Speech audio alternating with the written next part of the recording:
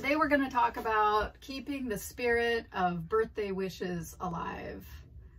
In this crazy time, nobody wants to be blowing out candles on a birthday cake. So I've come up with three really easy, inexpensive methods that you can use at home that can be personalized and made really fun so that you can safely blow out birthday candles because that's a tradition we just really shouldn't have to forego.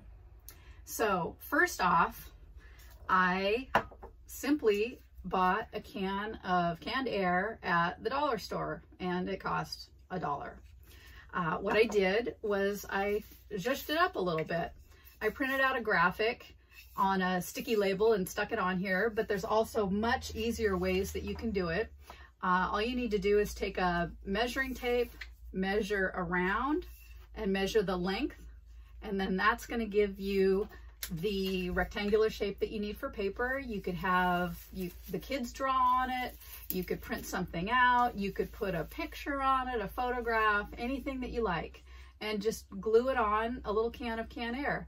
Remember, only use canned air. No other kind of aerosol is going to work because it will explode your cake, and that's not what we're after.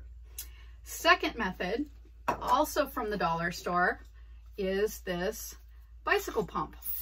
Now it comes with the thingy on the end that you blow up the ball or your bicycle tire with. So you just disregard that. Again, it cost a dollar.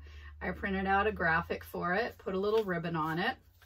Same thing, just measure the length, measure the circumference around, and that gives you the size of the piece of paper that you need in order to use this for a birthday blower.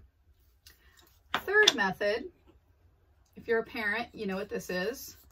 And for all things holy, make sure that you buy a new one, or if you have the kind that comes apart, um, put run it through the dishwasher because this is kind of gross. So we're gonna kind of um, disguise this a little bit.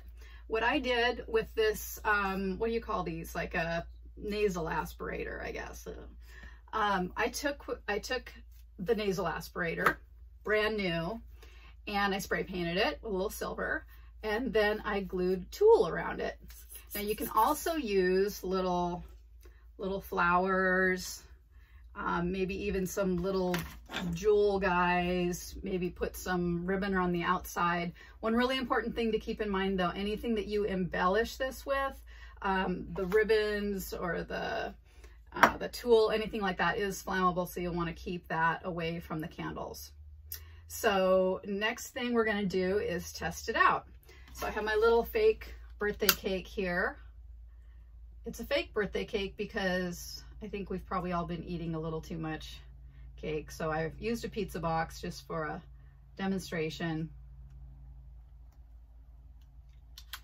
We're gonna show how this works.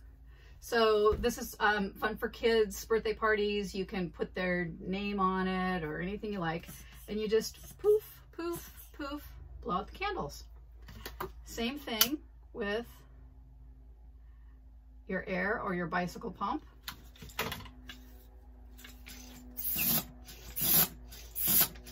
Okay. And then thirdly, our canned air. Although I think it says on here, don't shake it, so don't shake it.